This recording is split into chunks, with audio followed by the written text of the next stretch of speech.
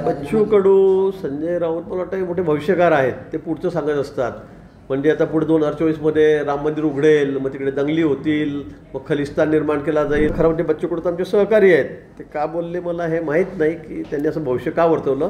पण संजय राऊत तर काय त्यांच्या बोलण्याला कोणी किंमत आता देत नाही सध्या.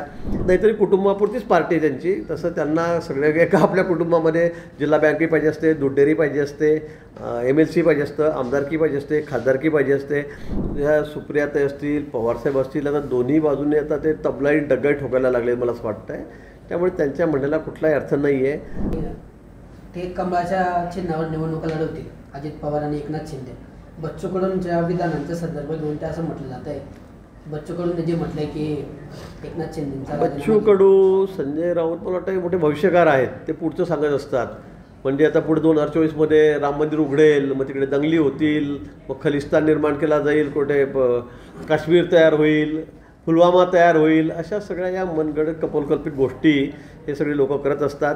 त्यांना विचारांना कामा आता खरं म्हणजे बच्चू कडू आमचे सहकारी आहेत. ते का बोलले मला हे माहीत नाही की त्यांनी असं भविष्य का वर्तवलं? पण संजय राऊत तर काय त्यांच्या बोलण्याला कोणी किंमत आता देत नाही सध्या.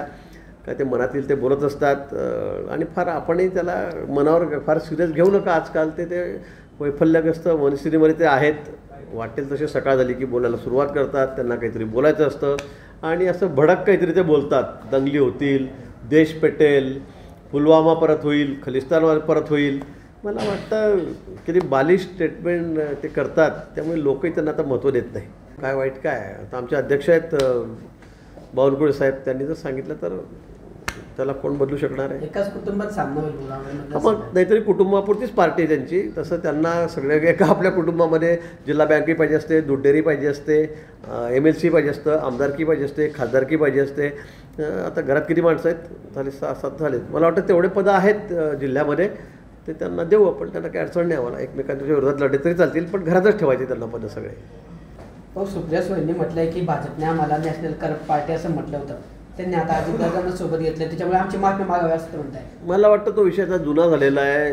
ह्या सुप्रियाताई असतील पवारसाहेब असतील आता दोन्ही बाजूने आता ते तबलाई डगाई ठोकायला लागले मला असं वाटतं आहे त्यामुळे त्यांच्या म्हणण्याला कुठलाही अर्थ नाही आहे आता जाणीवपूर्वक त्यांची पार्टीच त्यांच्याबरोबर राहिली नाही. त्यांच्यातले चाळीस बेचाळीस त्रेचाळीस लोक फुटले आहेत. आता दररोज आपण बघतायत आमदार खासदार निघून चाललेले आहेत. त्यामुळे अस्वस्थतेने झालेले आहेत. त्यामुळे मला असं अशा मागण्या त्या करतात सरकारने बोलवली जी ओबीसीची बैठक आहे ती थेट ऑनलाईन प्रक्षेपण करावी बा जनतेसमोर. जनतेसमोर. आता तो न्यायप्रविष्ट भाग आहे. आता ते ज्युडिशियल पॉवर त्यांना त्या ठिकाणी आहेत अध्यक्षांना. त्यामुळे तो ते ठरवतील. वडट्टीवर सांगतील त्याप्रमाणे काही त्या ठिकाणी होणार नाही. तो निर्णय अध्यक्षांनी घ्यायचा आहे.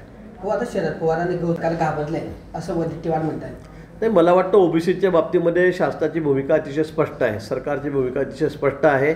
ओबीसीचं कुठलंही आरक्षण आम्ही त्या ठिकाणी काढून कुणालाही देणार नाही. हे वारंवार एकनाथजी शिंदेसाहेब म्हणाले आहेत देवेंद्रजी म्हणाले आहेत अजितदादाही म्हणालेले आहेत. आणि म्हणून ही आमची भूमिका आहे. त्यामुळे वडट्टीवार आपण म- आपलं सरकार म्हणजे खरं किती साठ किती वर्ष होतं जवळजवळ आपली एक दहा पंधरा वर्ष सोडलं तर मला वाटतं साठ वर्ष काँग्रेसचं सरकार होतं. आपण त्यावेळेला कुठल्याही समाजाला मराठा समाजाला आरक्षण दिलं नाही धनगर समाजाला न्याय दिला नाही ओबीसींना न्याय दिला नाही. आणि मग आता कशाला एवढा टाव फोडतायत?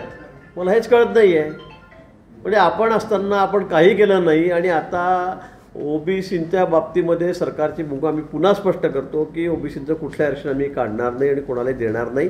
मराठा समाजाला आरक्षण द्यायचं आहे तर त्याचं वेगळं आरक्षण त्या ठिकाणी दिलं जाईल.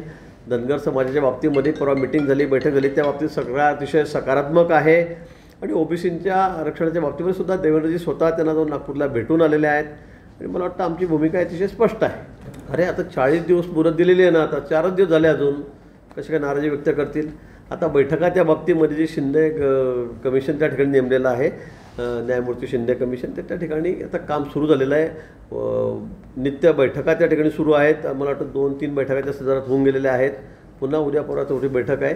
मला वाटतं अतिशय वेग गती या कामाला त्या ठिकाणी प्राधान्य देऊन त्या ठिकाणी दिली गेलेली आहे. मला वाटतं लवकरच त्या संदर्भामध्ये जो आयोग नेमलेला आहे तो आपला अहवाल त्या ठिकाणी सरकारला देईल. तर एकनाथ खडसे हे निवडणूक लढवणार असं त्यांनी मागणी केली आहे. एकनाथ खडसे उभे राहतील तर रक्षा खडसे या दोन लाख मतांनी भाजपच्या तिकीट निवडून येतील असं बावनकुळे सुद्धा म्हटलं होतं. चांगल्यानं घरातल्या घरामध्येच त्यांच्या पद राहील त्यांना सगळं घरातच पाहिजे नाहीतरी खडसे साहेबांना. त्याच्यामुळे मग मुलींना देतील किंवा ते राहतील इकडून लक्षातही राहतील. मला असं वाटतं पुढे आमदारकी पण मुक्तिनगरची त्यांचीच आहे. एम एल सी पण त्यांचीच आहे. सगळं त्यांना हवं असतं. त्याच्यामुळे तर त्यांनी ठरवावं होतं कोणकोणते पदं कोणी कोणी वाटून घ्यावे घरामध्ये. ते बावनकुळे म्हटलं की रक्षा खडसेंचं म्हणजे त्यांनी जाहीरच करून टाकलं.